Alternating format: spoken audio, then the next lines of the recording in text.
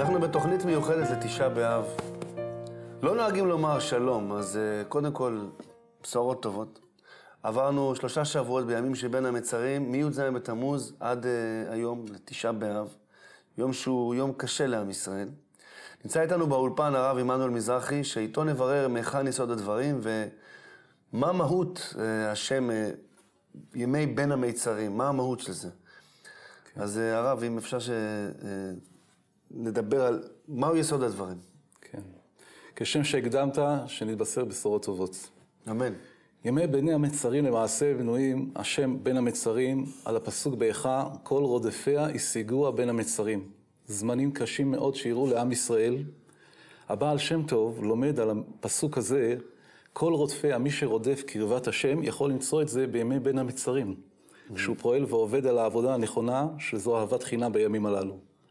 הימים הללו בעצם מתבססים שהסיום שלהם זה ביום הזה, יום תשעה באב, באיזה אירוע מסעיר שהיה בזמן התלמוד במסכת בבא בתרא.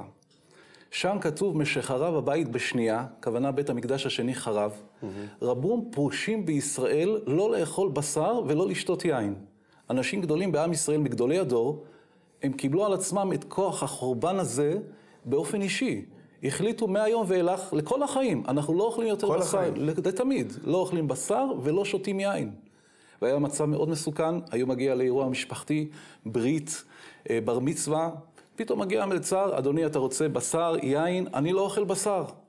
רוצה לזלוג יין? אני לא שותה יין. למה? חרב בית המקדש בגללי, ואני אוכל בשר, שהיה קרב קורבנות של בשר? Mm-hmm.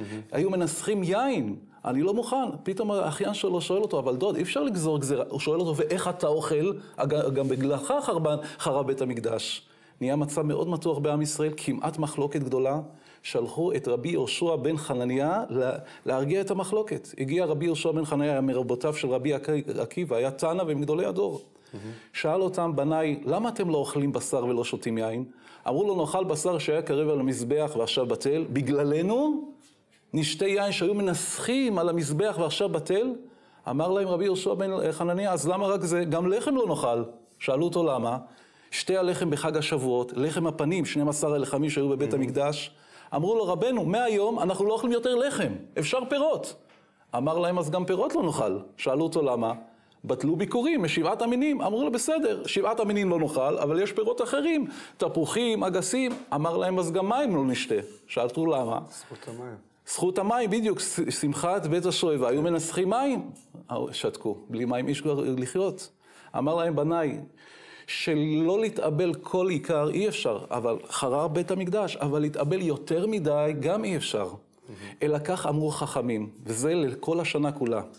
סד אדם את ביתו בסיד, מסייע את הבית, קנה שכר בית, משער דבר מועט. יש בתים שאתה נכנס, פתאום אתה רואה ריבוע, בגור, בגור, חצי מטר על מגורד עד הטיח. אתה נדהם, כל הבית צבוע, פתאום מין ריבוע ולא מסויד. מי שלא מבין, אה, אני בהתחלה גם חוזר בתשובה, תראו איזה מין ריבוע כזה, אתה אומר... אולי הקבלן השאיר שם כן, איזה קטע שלא סייג, שכחו את הקטע הזה.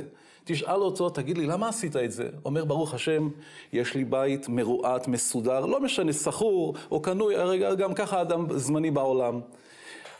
סיידנו גם לכבוד פסח, אבל לקדוש ברוך הוא אין בית. מה שנשאר לנו שריד בית המקדש, הכותל המערבי. אני מנציח את זה אצלי בבית. אני נכנס הביתה, יש לי קטע, מזכיר לי חורבן בית המקדש. עושה אישה את תכשיטיה, מתקשט לכבוד בעלה את הטבעות, צמידים, אה, שרשראות. פתאום טבעת אחת היא לא שמה, רק במשך השבוע. שבת, אין אבלות בפרהסיה. אבל במשך השבוע תשאל את הגברת הזאת, גברת, למה לא שמת את הטבעת הזו? חורבן בית המקדש. דבר אחד אני לא שמה. אדם פתח שולחן לכבוד החברים, הזמין חברים מסיבה. פתאום אתה רואה חלל בשולחן, קצת פינה פנויה, למה פה אתה לא ממלא איזו צלחת? זכר לחורבן בין המקדש, לא בשבת, רק ביום חול. ברוך השם, הזוג הגיעו לברית הנישואין. סדר הקידושין, לאחר מכן שבע ברכות, סוף הקידושין, לוקחים כוס יקרה, שמים לרגלי החתן, ואז הרב מנחה אותו, תאמר שני פסוקים, אם אשכחך ירושלים, תשכח ימיני, ואז באותו רגע מה הוא עושה? הוא שובר את הכוס. ישאל השואל, מה פשר הכוס הזו? הכלה מקודשת גם בלי הכוס, היא נשואה גם בלי הכוס. למה? שיא היום השמחה של החתן והכלה. אי אפשר שתהיה שמחה מאה אחוז כל זמן שחרב בית המקדש. מה עושים? לוקחים כוס יקרה, החתן שובר, מזכיר שני פסוקים על חורבן בית המקדש, ואז החופה שלמה. למה? זה כל השנה כולה. מגיעים ימי שלושת השבועות, מתחיל... סליחה, לגבי הכוס יקרה, אני לא בטוח, אבל... לא, כביכול זה אמור להיות כוס יקרה. כוס שנשברת. בדיוק, ואז יהיה קצת צער, זה הרעיון באופן כללי, זה מבוסס על תלמוד בבלי. על כל ששם, שאז שם היו לוקחים כוס ממש יקרה? אז זה כן, בדיוק, היה פעם, זה מבוסס על מעשה שהיה בגמרא, שהיו חכמים ששמחו יותר מדי, ראה אחד החכמים, אם אני לא טועה, זו אביי או רבא, ראה את זה, הוא לקח כוס ישר קרה, שבר אותה, פתאום נהיה שקט.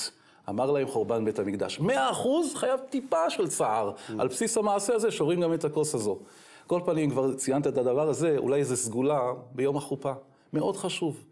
אומר יעבץ, כמה זוגות לא זכו בגלל שלא זכרו את הדבר הזה. אומר הרב זלמן שלמה אויבך, זכר צדיק לברכה, אומר זוג שיכוונו את הכוונה הזו. בזמן שהחתן אומר את שני הפסוקים, השכינה תשמח אותם כל החיים. מה צריך לכוון? כשהחתן אומר, אם אשכחך ירושלים, החתן והכלה יכוונו בלב. כדאי מאוד לזכור, זיכוי הרבים גדול.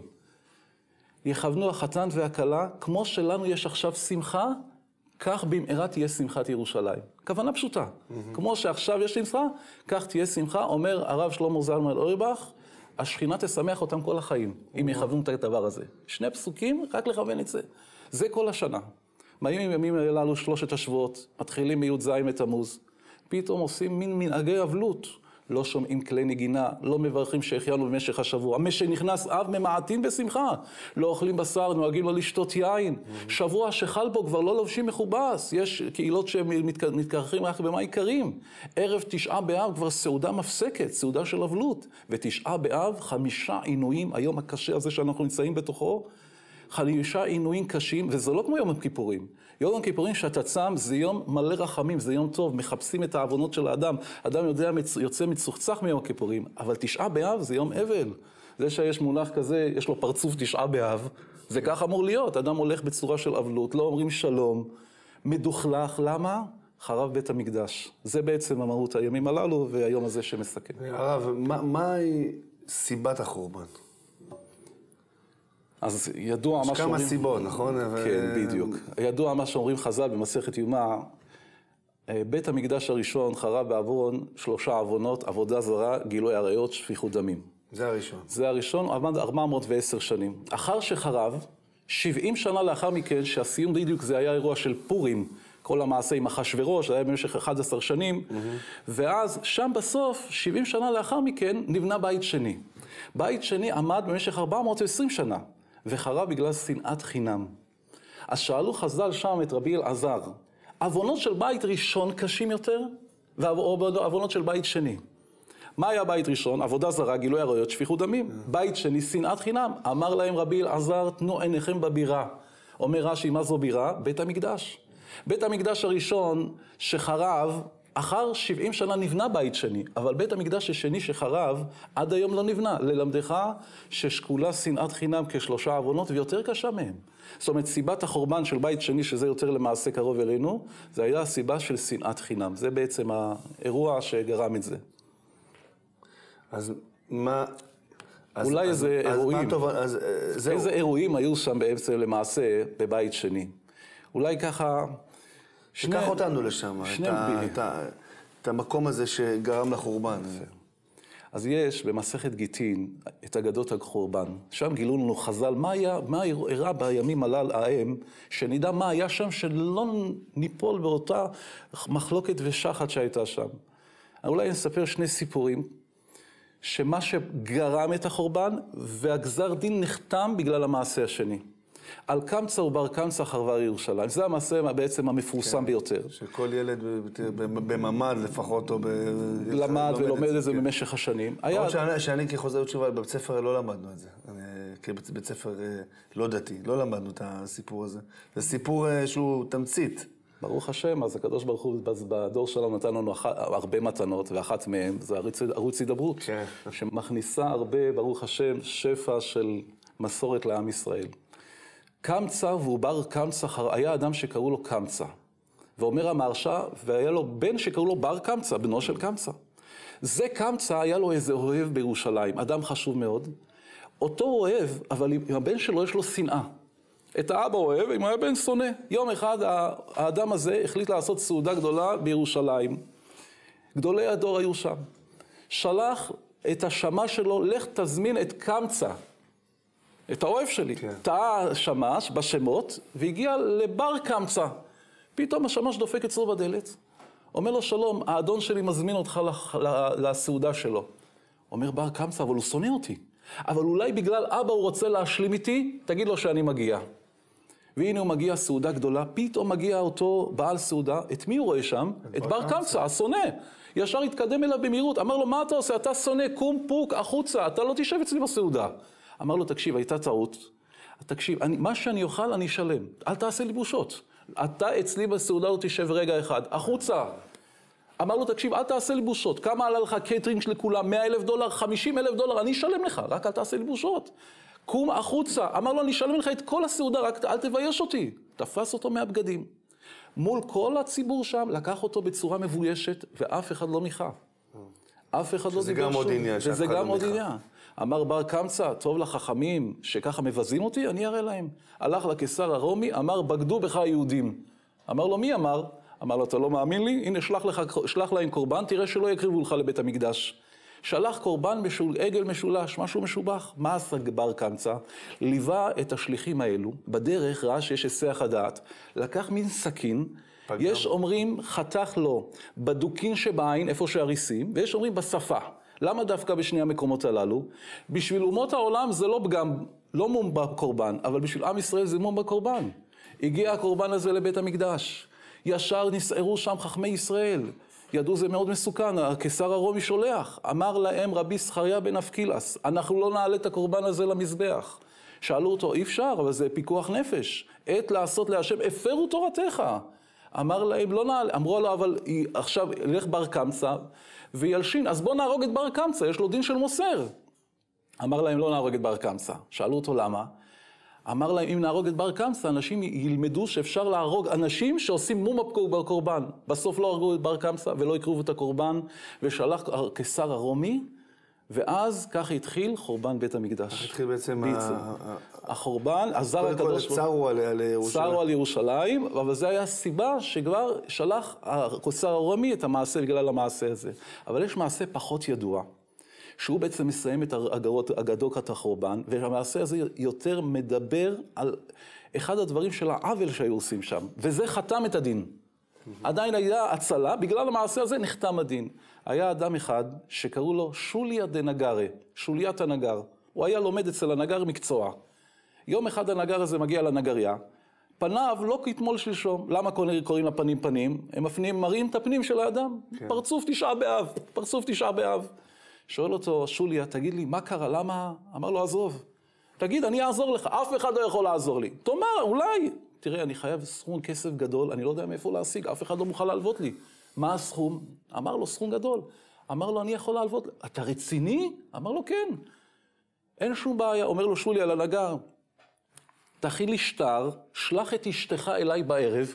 מה זה שלח את אשתך בערב? מה, אני לא יכול לבוא? שלח את אשתך בערב, ואני אתן לה את הכסף. הנגר הזה בתמימותו מגיע הביתה, אומר לאשתו בשורות טובות. שוליה, העוזר שלי, ילווה לנו את הכסף. עשה לה שטר, נתן לה את הכתוב, היא יוצא לבית של, של השוליה. והיא לא חוזרת שלושה ימים. במקרה למחרת, גם שוליה לא באה לעבודה. גם לא ביום השני. ביום השלישי, הנגר הגיע לבית של שוליה. דופק אצלו בדלת. פותח שוליה, אומר לו, אני שלחתי את אשתי אליך לפני שלושה ימים בשביל ההלוואה, אתה זוכר? אמר לו, כן. איפה היא? אמר לו, ראיתי אותה משתובבת עם הבחורים. מה, מה אתה רציני? אמר לו, כן, שמע בקולי, אישה כזאת צריך לגרש אותה. אמר לו, איך אני אגרש אותה? אתה יודע כמה חטפתי עליה בכתובה? כמה חתמת לה? אמר לו, סכום גדול. אני אלווה לך את הכסף, שמע בקולי, גרש אותה. מה עושה אותו נגר? הולך לבית הדין, מגרש את אשתו. הוא לקח ממנו את ההלוואה, ונתן את הכסף לאשתו, נתן לה את הכתובה שלה. חלפו שלושה חודשים. מה עושה שוליה? הולך ומתחתן עם מי? עם הגרושה. איך אומרים? בלחושון הרחוב, עבד עליו, סידר אותו. אם היה נגמר בכך, ניחא. חלפה תקופה ארוכה. יום אחד מגיע שולי על הבית של הנגר. אומר לו, אתה זוכר את החוב שאתה חייב לי בשביל כתובת אשתך? אמר לו, כן, אבל המצב קשה. אמר לו, תקשיב, אני הלכתי לבית דין, ואז אני פורס לך את החוב למשך כמה שנים, תהיה אצלי שרת בבית. וזה הכל על פי דין. אומרים חז"ל במסכת שבת, לא חרבה ירושלים, אלא שהעמידו דבריהם על דין. והוא היה כבול, מה עשה? לא היה לו ברירה, אסף את כל הפקלאות שלו, והגיע להיות שרת בבית של מי שפעם היה עוזר שלו. מה זה? זה ממש... ועדיין הוא לא יודע מה קרה עם אשתו, הוא לא יודע כלום. מתארים חז"ל, הוא לא יודע שאשתו לא שם יודע, בבית. הוא לא יודע שבכלל שולי הלך להתחתן עם אשתו הגרושה, ואת כל התחבולה שהוא עשה, הוא לא יודע כלום. באותו רגע, ש"ד הש... הש- דבר קשה מאוד. שוליה. כן. מתארים חז"ל, באותו זמן הוא היה במטבח. שוליה, הבעל החדש עם אשתו החדשה, יושבים בסלון, צוחקים. הוא צועק לו, תביא לי פעמיים יין לי ולאשתי. הוא לוקח את המגש, תראה איזה חיים, לא מספיק איבדתי את אשתי, גם עכשיו להיות שרת, שם את שתי הכוסות, ממלא אותם יין. הוא מתקדם לכיוון הסלון. ואז, צופים יקרים, מה קורה באותה עת? הוא רואה את אשתו לשעבר יושבת עם החתן שלה החדש. באותו רגע יורד לו האסימון, איזה עוול הוא עשה לו, שהוא סידר אותו, ולקח את אשתו. אבל הכל הוא כבול על פי דין. באותו רגע מה קרה לו? נשבר לו הלב. מתארים חז"ל, הוא מתקדם אליהם עם המגש, וזולגות לו דמעות מהעיניים, וברגע שנגעו הדמעות בכוס של היין, נחתם חורבן בית שני. או-אה. זה הסיבה של החורבן. זה- פעם ראשונה שאני שומע את הסיפור כן, זה הזה. סיפור פחות ידוע, זה מסכם, הסיפור הזה במסכת גיטין, מסיים את הרגדות החורבן, ובגלל זה העוול שהיה, ההונאת דברים הזו, חתם את החורבן בבית שני. הרב, אז מה התובנות שאפשר לקבל מהסיפורים האלה? כשאנחנו לוקחים את זה לחיים היום, באב, אז יש חורבן. והרב מספר סיפורים קשים על התנהגות קשה של אנשים. מה שאתה אומר, למה בן אדם מתנהג ככה? יש בתוכנו את המידה הזאת? והאם יש משהו שאנחנו צריכים לתקן בתוכנו כדי לבנות את ה... כנגד החורבן? יפה מאוד. גאון מווילנה אומר, אם אדם בא לעולם ולא עובד על מידותיו, למה לא חיים? בלי עבודת המידות, קשה מאוד מאוד להתמודד בחיים ולהצליח בהם בלי פגיעה באנשים, בלי מריבות עם אנשים. עבודה זה עבודה גדולה מאוד. הדבר הזה של חורבן הבית כל כך מתבטא אצלנו בחיים, בלי הרגש. אולי סיפור קצר יתאר את זה. אני שמעתי מראש כולל חשוב בבית שמש. הוא מספר שיש לו קרובת משפחה. היא כבר שנים רוצה לצאת, היא רוצה להתחתן. בערך, אז כשהוא סיפר היא הייתה בערך בת 30. מגיל 22 לערך היא כבר יוצאת לפגישות.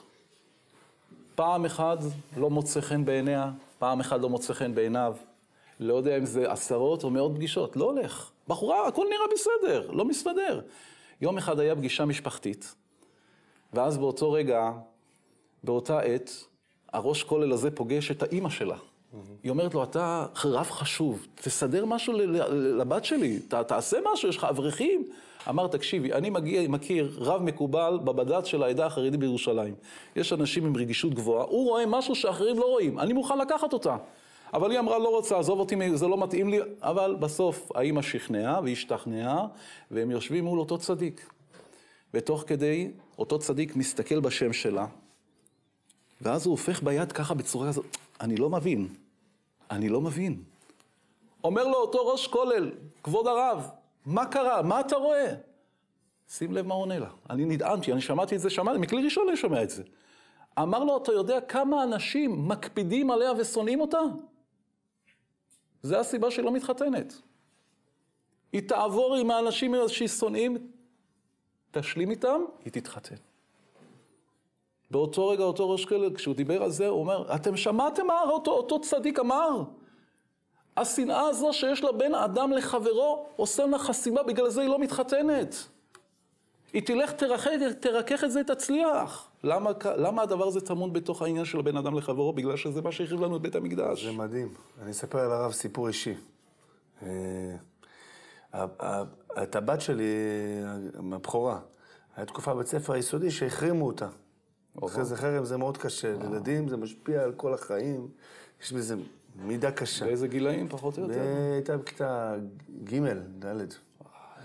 ואני נזכרתי, תוך כדי החרם, אני נזכרתי, פשפשתי במעשה, אמרתי, איפה, אולי, אולי זה משהו שקשור בי גם, כי מה שהשם מראה לנו. ואז נזכרתי שאני פעם אחת שהייתי נער, פגעתי במישהי מאוד, וזה עשה עליה כמו איזה מין חרם, צחקו עליה. ואמרתי, אני חייב להתקשר אליה, לבקש סליחה. חיפשתי את הטלפון שלה, זה... ואז אני יוצר קשר ואני אומר לה, שלום, וזה... ומדברים, ואני אומר לה, אני מבקש סליחה אם אני פגעתי בך. לי, לא, לא, וזה... לא פגעת בי, בהתחלה היא לא הודתה. ועכשיו, היא בחורה לא דתייה, כן? אני מדבר איתה, ואז פתאום היא אומרת לי, אני בעצם כן נפגעתי, ואם בגלל הפגיעה הזאת עשה לך איזה עיכוב או בלאגן במשפחה, אני לא אמרתי לה כלום, לא סיפרתי לה את הסיבה. אני מבקש, אז אני מוחלת לך. וואו. אמרתי לה, אני מבקש שתבחרי לי שלוש פעמים, ביקשתי סליחה, למחרת נגמר החרם. יואו. לפעמים זה... זה איך משליך מהאבא לבת. מהאבא לבת. מידה כנגד מידה, איפה זה הגיע. הרב, יש לנו פה, לסיום, אנחנו, יש לנו פה ספר, זכויות וקבלות, אם, אם הרב יכול אה, להסביר מה, מה העניין של זה. ברוך השם, ערוץ התעברות והדברים הנפלאים שהערוץ הזה עושה. אחד הדברים, ספר הזכויות, כמו שהצופים כרגע רואים, ספר מאוד מיוחד, מעוצר. הספר הזה אמור להגיע לגדולי הדור, מהם הגאון הגדול, רבי חיים קניבסקי, המקובל, הרב דוד בצרי, רבי דוד עבור חצר המנהריה, והספר הזה אמור להגיע אליהם. מה טמון בספר הזה? אנחנו נמצאים ביום מיוחד במינו, יום תשעה באב. חז"ל אומרים במסכת אה, תענית, מצוות ומעשים טובים שישראל עושים, נותנים כוח בפמליה של מעלה, כדי לבנות את בית המקדש מחדש. זאת אומרת, אם יהודי, אם בת ישראל שעכשיו שומעים, צופים, מקבלים על עצמם איזו קבלה קטנה ביום המיוחד הזה שאנחנו נמצאים, יום שכוחו בעזרת השם להשפיע גאולה לעם ישראל, הדבר הזה יכול לקרב את הגאולה. זה ספר תולדות אדם, ספר הזיכרונות. הם יכולים ישר ליצור קשר כרגע עם ערוץ הידברות, לקבל קבלה. מה אפשר לקבל על עצמם? אני יום אחד הייתי בקופיקס, ראיתי בחור בן, צעיר, אמרתי לו, תגיד לי, אתה מניח תפילין? אמר לי, תקשיב, אני בן 18, אני מגיל 13 לא פספסתי יום אחד של תפילין. אמרתי לו, אתה רציני? אמר לי, רציני מאוד. אני אגיד לך עוד משהו, אני מגיל 13 את כל השבתות שמרתי, לא פספסתי אחת. אמרתי לו, אשריך ואשריך כרך, אתה יודע איזה זכות יש לך? יהודי יכול לקבל על עצמו קידוש ליל שבת. הנחת תפילין, בת ישראל יכולה לקבל על עצמה ברכות השחר, אשריה. יכולה לקבל על עצמה הדלקת נרות שבת. יכולה לקבל על עצמה ברכת המזון. כל קבלה שעולה בדעתנו, גם משהו שלא יכביד. גם משהו של... שקשור במידות, זה גם אפשר. בין אדם לחברו יכולה לקבל על עצמה 40 יום להחמיא לבעלה, מילה אחת טובה ביום. או, זה עצות. יפה מאוד. גם הבעל יכול להחמיא. יום אחד מישהו שאל אותי, אני יכול לקבל, תגיד לי, מה אני אגיד לאשתי? אמרתי לו, תגיד לה שהיא אישה טובה. ואם היא לא אישה טובה, אמר, אמרתי לו, תקשיב, אם תגיד לה מחמאה אחת כל יום, תראה איזה אישה טובה תהיה לך בבית. למה? אין, יש לך אדם שלא יהיה כאלה שאומרים קומפלימנט, מחמאה, ודאי שזה עושה דבר טוב. מי שייצור קשר ויקבל על עצמו קבלה, כל דבר שהוא רוצה לקבל על עצמו, הוא יירשם בספר הזה, הספר הזה יגיע לגדולי ישראל, הם יברכו אותו, טוב שיבקש גם בקשה אחת אישית כלפי עצמו. להתחתן, לחתן את הילדים, פרנסה, מה שהוא רוצה, ירשמו את זה, זה יגיע לארבעה מגדולי ישראל, והברכות של היום לא שוות ריקם בעזרת השם. זכות גדולה ביום הקדוש הזה. הרב עמנואל מזרחי, תודה רבה לך. ש... גם לך, תודה רבה. סיפור, האמת שיש פה סיפורים ששמעתי גם לראשונה, שנזכה שהיום הזה יפתיע אותנו. שזה התשעה באב האחרון שיהיה, ובעזרת השם, כבר לשנה הבאה, כבר לשנה, כבר מיד, נזכה לבניית בית המקדש השלישי. תודה רבה, וגם לצופים בבית. תודה רבה. הגיע זמן גאולתנו. משדר מיוחד ומרגש הדמעות לאורך יום תשעה באב, מתחברים לכאב וחולמים על הגאולה, יחד עם גדולי הרבנים, הרב זמיר כהן, הרב יצחק פנגר, הרב יגאל כהן, הרב פסח קראון, הרב אליהו אמר, הרב יוסף בן פורת ועוד, ובהשתתפות הרבנית ימימה מזרחי והרבנית חגית שירה. שידור מיוחד הישר ממנהרות הכותל עם הקולות של ירושלים. ומאולפני הידברות נעביר פינות אישיות העוסקות בעניינו של יום עם רבנים ואומנים בהנחיית גולן אזולאי. יחד נתעורר ביום המיוחד הזה להביא מתוך ההפכה את אור הגאולה. היו איתנו תשעה באב, יום שני 31 ביולי, החל משש בערב.